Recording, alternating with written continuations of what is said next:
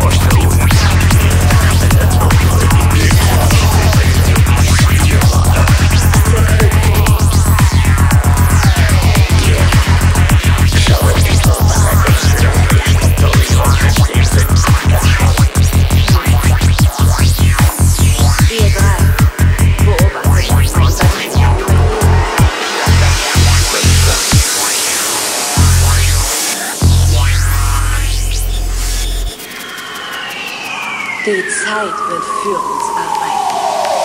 Alle Vorbereitungen